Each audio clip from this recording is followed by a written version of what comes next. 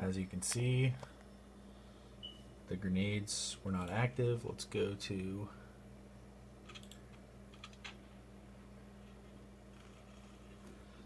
is UMGO variant search and destroy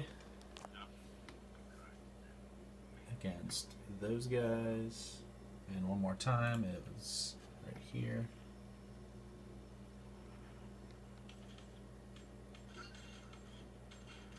Was Benzo right there. And if you go back to the rules and go to search, right there.